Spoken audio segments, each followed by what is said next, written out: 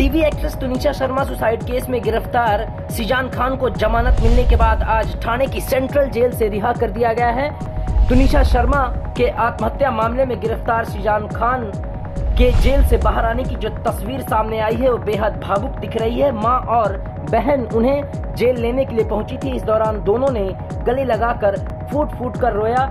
Cézanne Khan लगभग 70 दिन बाद जेल से बाहर आए हैं। आपको बता दें कि 21 साल की टीवी एक्ट्रेस तुनिशा शर्मा ने अपने शो अली बाबा के सेट पर 24 दिसंबर 2022 को फांसी लगाकर जान दे दी थी। उनके सुसाइड का आरोप उनके एक्स बॉयफ्रेंड और को स्टार सिजान खान पर लगा था। सिजान के खिलाफ एक्ट्रेस की माँ ने शिकायत दर्ज कराई थी और फिर उन्हें 25 दिसंबर को गिरफ़्तार किया गया था।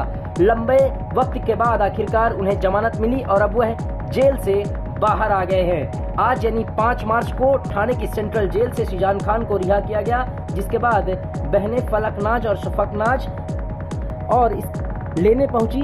वहीं भाई को जेल से घर ले जाते हुए दोनों बहनों के चेहरे पर खुशी साफ़ दिख रही थी। दोनों ने गले लगाकर भाई का स्वागत किया। इस दौरान दृश्य भावुक वाला था। शिजान खान पिछले सत्तर दिनों से जेल में बंद थे।